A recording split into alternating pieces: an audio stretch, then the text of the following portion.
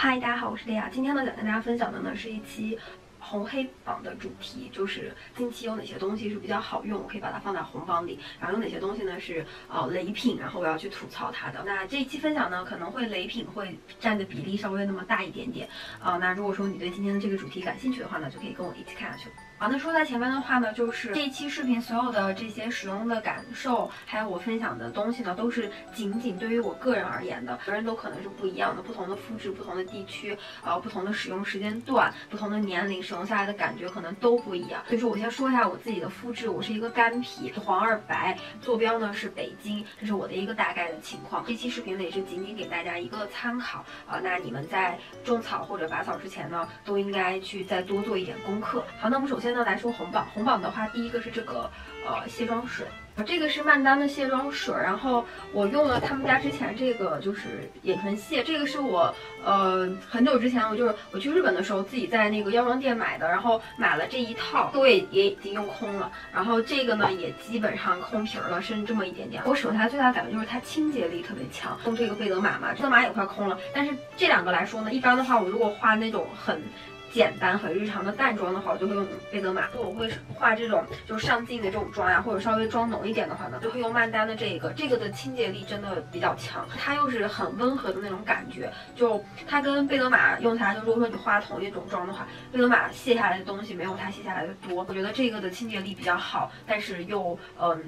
你用的话，皮肤也没有什么负担感，基本没有什么味道，就用起来是比较舒服的那种感觉。那么第二个呢，就是这个欧舒丹的这个护手霜，那么这个是玫瑰味的。呃，为什么说它好用呢？因为现在也不是秋冬嘛，自己搬出来住之后呢，我就要嗯每天做做饭呀，然后洗碗呀之类的，所以对护手霜的需求量就特别大，手真的很容易干。但比较注重就是手部的保养。这管呢，就是属于那种特别好携带，就是它很小一支嘛，就平常放在包包里啊，或者就是你直接摆在手旁边就很好用的那种。它味道就是很好闻，再加上它涂抹起来的那个质地就是那种非常的呃清爽的那种。就我讨厌一切就是让我涂上去之后是那种很油腻感觉的东西，这就是吸收特别快，就是很清爽的那种感觉。就我非常非常喜欢它的这个呃质感。好，那么接下来呢是这一款。这一款呢是马西尼的深层修复发膜，它的包装呢就是这种粉粉的特别可爱的这种。那打开给你们看一下里面，里面呢就是这样这边呢就是这种膏体。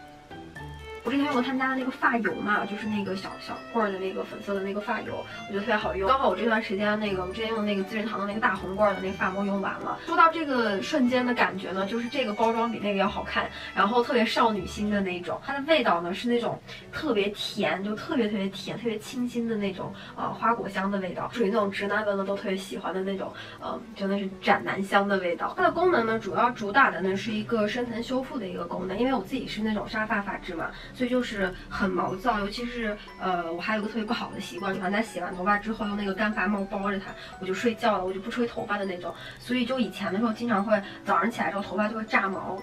呃，那用了这个之后呢，就属于那种呃，你看我昨天晚上也是那么睡，但是今天起来之后头发就是很顺滑的这种，顺而且特别有亮度的这种。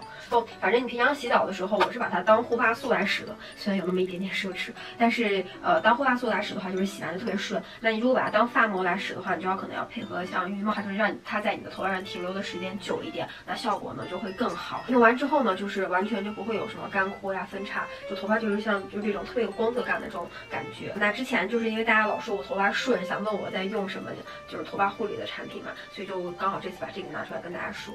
接下来呢是这一个喷雾。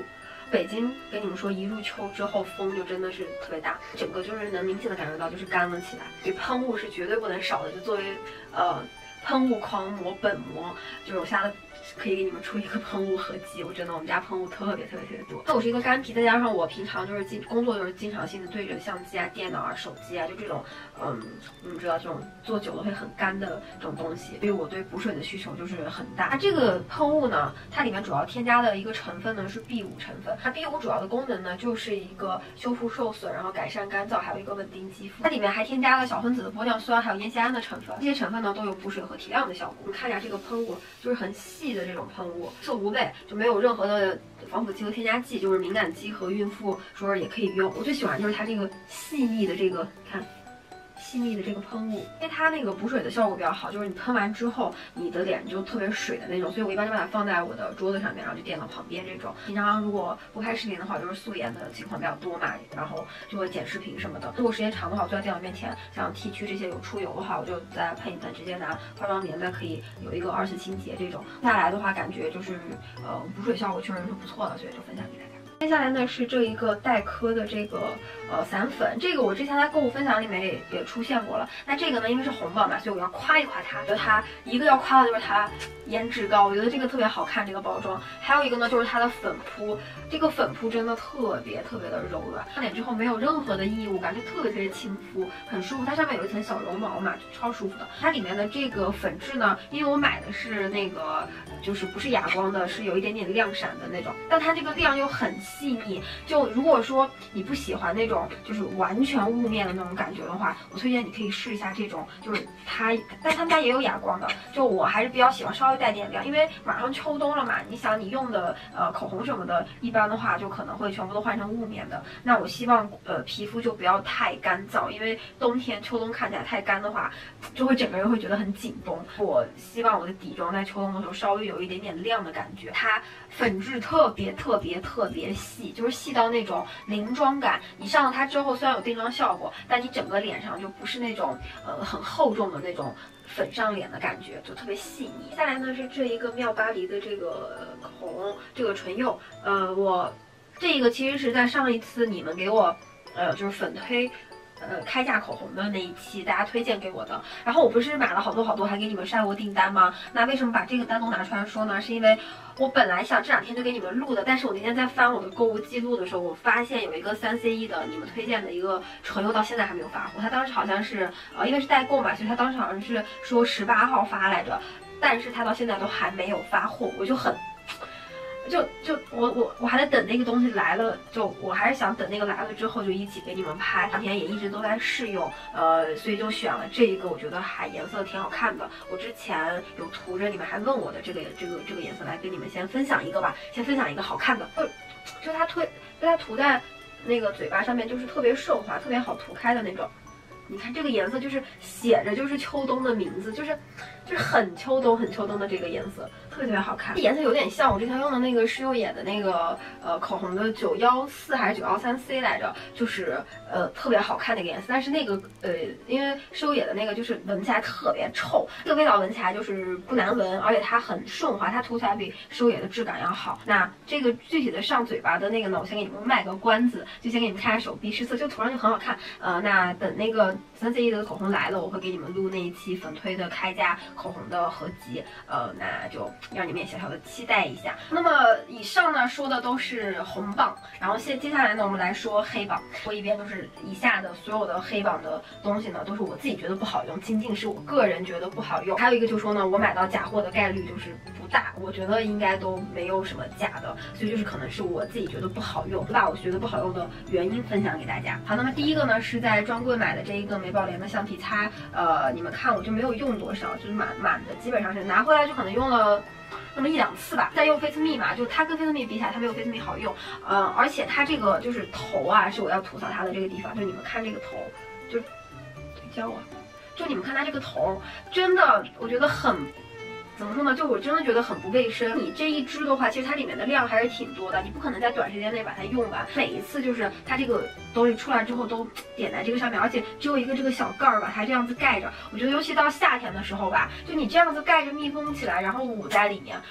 就总感觉它不卫生，而且它这个海绵就是它这个海绵头的这个面积还挺大的，一般的那种就是小的那种就是海绵头，像唇釉那种的，我觉得还不太一样，因为它这个是完全暴露在里面，它不是一个很真空的环境。那种的话，它其实封在里面，然后有膏体什么的包裹，我我倒觉得还没有那么容易变质。这个的话，我就真的觉得有一点不太卫生，而且每次都是就直接就上脸，或者是怎么样，就你涂下来就接触到脸的这种，又把它又又这样的再推进去。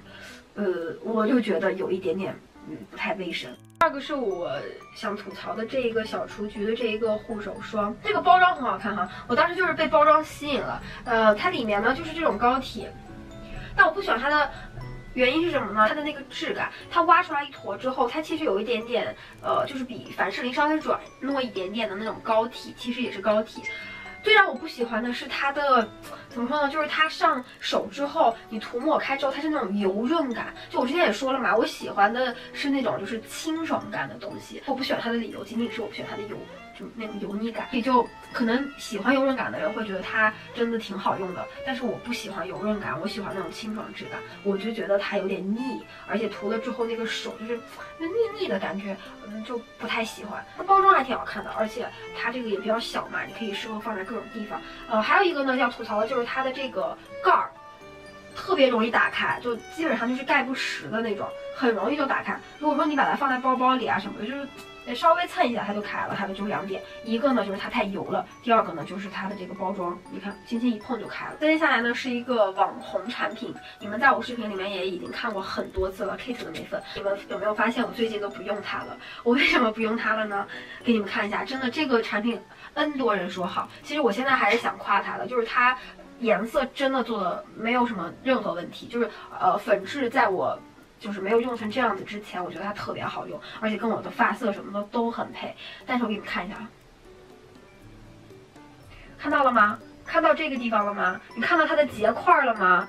我真的很无奈，你知道吗？这个结块啊，怎么刷都刷不掉。你只有拿刀把它这个结块这里给它就是挖掉那一块之后，你再去取粉，它才会好用。两个色确实还都蛮好用的，就怎么说呢？还就还是想把它就是吐槽一下，就觉得。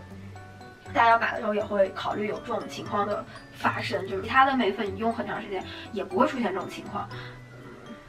所以就不知道为什么它会硬成这样，就真的是特别不好区分的这种。接下来呢是一个橘朵的一个唇釉，这个就是上一期你们推荐的那个粉丝国货呃推荐粉推产品里面入的。然后我我之前不是给你们试色了嘛？那还有就是新来的小伙伴们，我再给你们试一下色，味道特别好闻，颜色也特别好看。那上在嘴巴上是那种亮亮的会成膜的那种。为什么不喜欢它？不是因为它的颜色，也不是因为它的呃味道各种，我觉得它的颜色特别好看，呃。涂在嘴巴上面的效果也特别好看，就是它这么平价能做出这种质感的唇釉来说，我觉得国货做的非常棒。我为什么今天要吐槽它呢？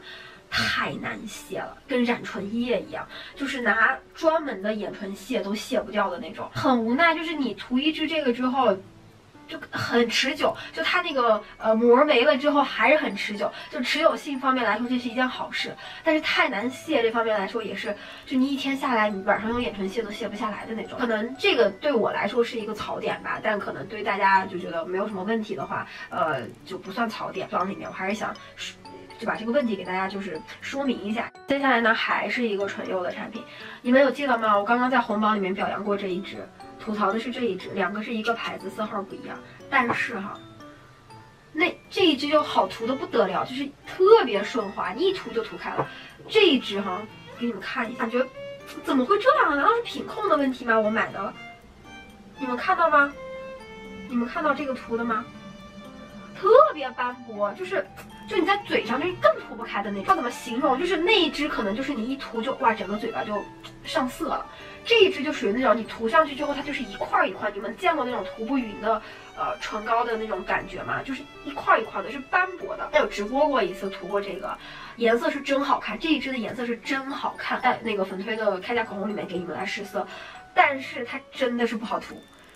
一块一块的，就是我那天直播的时候，大家就说你这个就涂不开呀？为什么？我也想知道为什么。Why？为什么同一个牌子的口红，一支特别好用，一支就涂不开？然后，那么最后一个呢，要吐槽的就是这个，就是就这一支完美日记的这个呃睫毛膏，因为之前有跟他们家合作过，呃那个唇釉嘛，还有口红嘛，真的都非常好用，但就不知道为什么他们家火的这一支睫毛膏哈。这支是我之前粉丝推荐国货里面，就是你们给我推荐我自己买的，不是合作的产品，所以我可以放心大胆的去吐槽它。它真的非常的难用，就是难用到一个什么境界？就是你看它这种细头吧，你会觉得它一定是一个，呃，不容易出错的一支睫毛膏，然后你涂涂下睫毛什么的，应该会非常的完美，因为很很细嘛，就很好涂。其实呢，就是它完全没有什么卵用，它只会有把你刚夹翘的睫毛给你刷塌下来的。一个问题，这一支呢就是完美的做到了如何把你刚夹翘的睫毛给你直接刷塌。做功课的时候还看到有人说它特别晕，但是在我的呃眼睛上面没有出现有晕妆的情况，也没有出现掉渣的情况，我只是觉得它呃涂不翘睫毛，然后效果不好，所以我会吐槽它。那如果你们有用过这一支好用或者不好用的，都可以分享给大家。好，那么本期视频呢到这里结束了。呃，有红榜有黑榜，你有没有种到草或者有没有拔草的呢？大家能够多多投币多多收藏。那我们就下个视频再见吧，拜拜。